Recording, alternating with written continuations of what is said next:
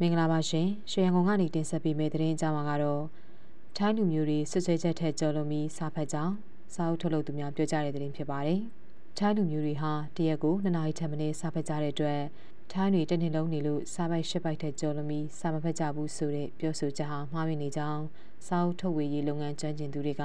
ဇူလိုင်လ28ရက်နေ့ကပြောကြားလိုက်တယ်လို့သိရပါတယ် အခုနှစ်အတွင်းဆယ်ကျော်သက်ရွယ်ကနေတက်ကြီးရွယ်ဦးတွေအထိလူဦးရေ1500ကိုစမ်းစစ်လေ့လာမှုတစ်ခုပြုလုပ်ခဲ့ရာလက်ရှိအချိန်မှာထိုင်းလူမျိုးတွေတရက်ကို133မိနစ်စာဖတ်တာကိုတွေ့ရကြောင်းထိုင်းနိုင်ငံစာအုပ်ထုတ်ဝေသူများနဲ့ရောင်းချသူများအသင်း PUBD ဥက္ကဋ္ဌဆွေဝေရာဝဒနာပိုင်ဘွန်ကပြောပါတယ်။ဆယ်ကျော်သက်လူငယ်အများပြားဟာလူမှုကွန်ရက်တွေကလွတ်မြောက်ခြင်းတဲ့အတွက်စာဖတ်ခြင်းကိုစိတ်ဝင်စားကြတယ်လို့၎င်းကပြောပါတယ်။ စာဖတ်လို့ရတယ်လို့အတန်လင်းနားထောင်လို့ရတဲ့အတွက်တက်ကြီးရွယ်ဦးတွေကတော့ဆယ်ကျော်သက်လူငယ်တွေထက် e-book တွေကိုပုံမှုအာရုံစိုက်လေးရှိတယ်လို့လည်းပြောပါတယ်။ထိုင်းလူမျိုးတွေဟာစိတ်ပညာစာအုပ်တွေ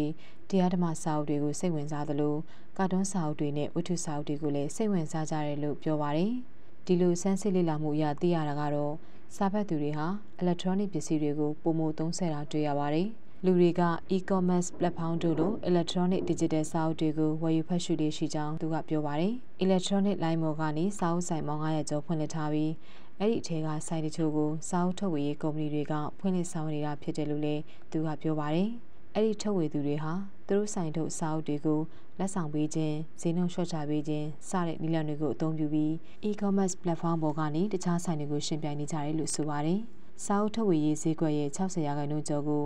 MEP လို့အမည်ပေးထားတဲ့ Mobile e-book application ကသိမ်းပိုက်ခဲ့ကြောင်းသူကပြောပါတယ်။ပြီးခဲ့တဲ့နှစ်ကထုတ်ဝေခဲ့တဲ့စာအုပ်ပေါင်း2965ဦးနဲ့မှာ4086ကို e-book ဖြစ်ပြောင်းလဲထုတ်လုပ်နိုင်ခဲ့ကြောင်းလည်းထိုင်းမျိုးသားစာကြည့်တွေကပြောကြားခဲ့တယ်လို့သိရပါတယ်ရှင်။